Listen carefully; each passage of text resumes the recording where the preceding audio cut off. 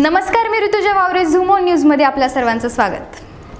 वक्रतुंड महाकाय सूर्यकोटी समप्रभ निर्विघ्नम गुरुमे देव सर्व कार्येषु सर्वदा. देवांमध्ये गणपतीला अग्निपूज्य मानलं जातं. गणपतीला बुद्धीचे देवता मानलं गेलं आहे. प्रत्येक मंगल कार्यात त्याला प्रथम स्थान मिळालेले आहे. गणपती जलतत्वाचा अधिपती आहे. गणपती म्हटलं की त्याच्या मोहक कल्पनेनेच आपण भारावून जातो. तसं बघितलं तर गणपतीचं मोठं पोट सोंड एकदंत आणि वाहन मूषक असलं तरी त्याला अतिशय गहन आध्यात्मिक अर्थ आहे. खरं तर गणपती आणि त्याचे आभूषणे सगळ्या गोष्टी ज्ञानाच्या आधारावर स्पष्ट होतात. भाद्रपद महिन्याच्या शुक्ल पक्षाची चतुर्थी गणेश चतुर्थी म्हणून साजरी केली जाते. यावर्षी गणेश चतुर्थी बावीस ऑगस्ट रोजी असून सनातन धर्मात गणपतीच्या पूजेचं विशेष महत्त्व आहे. हिंदू धर्मियांची आराध्य देवता श्री गणेश. भाद्रपद महिन्यात शुद्ध चतुर्थीला येणारा गणेशोत्सव आजही हिंदू बांधव मोठ्या आनंदाने उत्साहाने आणि चैतन्याने साजरा करताना आपल्याला पाहायला मिळतात. गणपती ही बुद्धीची देवता असून प्रत्येक कार्यारंभी त्याचे पूजन प्रथम करण्याची प्रथा असल्याने हिंदू धर्मात या गणेशाप्रती आदराची भावना विराजमान आहे. हिंदूंमध्ये जे अनेक उपासना पंथ निर्माण झाले त्यामध्ये गानपत्य हा एक पंथ आहे. गाणपत्याचे दैवत आहे गणपती. पार्वतीच्या अंगाच्या मळापासून गणपती निर्माण झाला अशी एक दंतकथा आहे. त्याप्रमाणे व्यासांनी सांगितलेलं महाभारत गणपतीने लिहिलं अशी समजूत आहे. गणेश जन्म. माघ महिन्यातील चतुर्थीला माघी चतुर्थी असं म्हटलं जातं. हा गणपतीचा जन्मदिन होय. जागृती स्वप्न सुपृष्टी आणि तुर्य अशा चार अवस्था मानल्या गेल्या आहेत. चतुर्थी ही तुर्यावस्था म्हणजे आत्मिक साधनेची एक अवस्था मांडली गेली आहे असे भारतीय तत्वज्ञानात सांगितलंय. प्रतिष्ठापनेची पूजा. श्री गणेशाची प्रतिष्ठापना करताना पार्थिव मूर्तीचे आवाहन पूजन अभिषेक अत्तर फुलं दुर्वा पत्री अर्पण करून अखेर नैवेद्य आणि आरती अशी प्रथा आहे. भाद्रपद महिन्यात पावसाचे दिवस असल्याने सगळीकडेच हिरवळ पसरलेली असते. आणि विविध वनस्पती उगवलेल्या असतात. त्यामुळे सोळा पत्री श्री गणेशाला अर्पण करण्याची प्रथा असावी या पत्रींमध्ये अधिकतर पत्री या औषधी असल्याचं आपल्याला आढळतं. गाणपत्य संप्रदाय. गणेशाचा उपासक संप्रदाय गाणपत्य नावाने ओळखला जातो.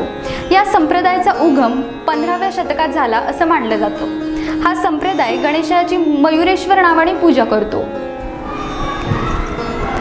तुकोबा गणपतीला नाचत येण्याची विनवणी करतात. गणराया लवकरी येई भेटी सकलांसी देई. अंगी सिंदुराची उटी केशुर कस्तुरी लल्लाटी. पायी आर्घया वाजती नाचता आला गणपती. तुका म्हणे पाही विठ्ठल गणपती तुझ्या नाही. सार्वजनिक गणेशोत्सव. लोकमान्य बाळ गंगाधर टिळकांनी भारतीयांना एकत्र आणण्याकरता आणि विचारांची देवाणघेवाण करण्याकरता या उत्सवाची सुरुवात केली होती. अनेक ठिकाणी सांस्कृतिक कार्यक्रमांचे आयोजन देखील करण्यात येतं. अवघ्या भारतभर विशेषतः महाराष्ट्रात गणेशोत्सव उत्साहाने साजरा होणारा सण आहे. या सणामुळे कितीतरी हातांना रोजगार उपलब्ध होतो.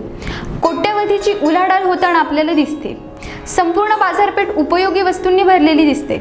मूर्तिकारांची लगबग तर कित्येक महिने अगोदरपासूनच सुरू झालेली पाहायला मिळते. गणपतीची आराधना सर्वप्रथम कोण पूजनीय आहे हे जाणून घेण्यासाठी सर्व देवांमध्ये एक स्पर्धा झाली.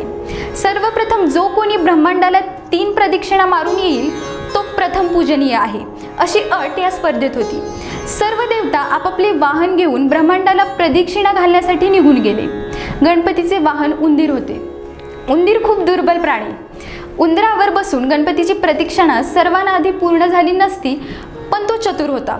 त्याने तिथेच राम नाव लिहिले आणि उंदिरावर बसून त्या नावाला तीन प्रदक्षिणा मारल्या व पंचाकडे जाऊन बसला.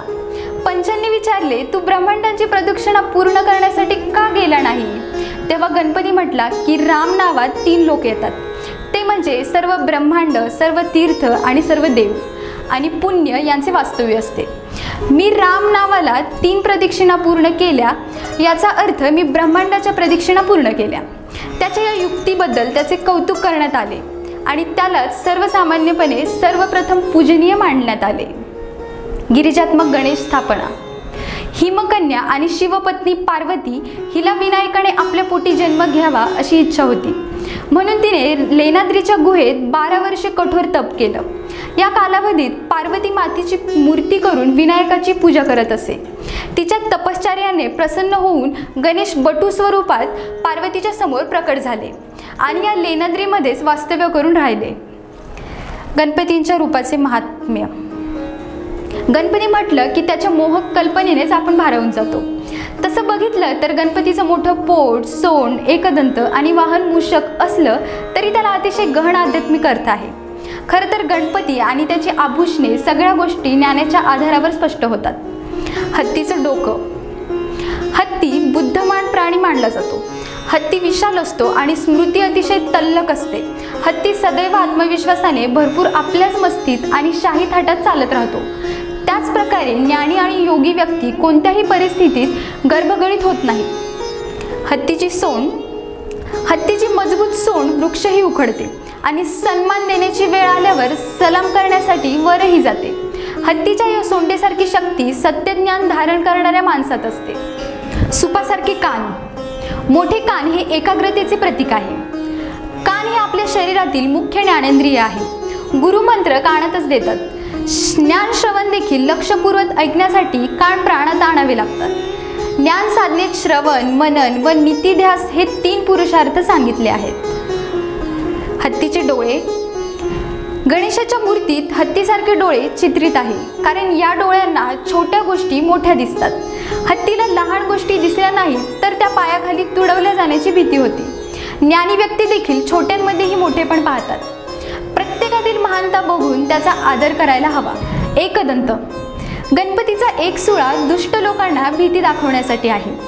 कारण सरळ मार्गी चालणाऱ्यांना त्रास देणं सोपं आहे असं समजणं नुकसान करेल.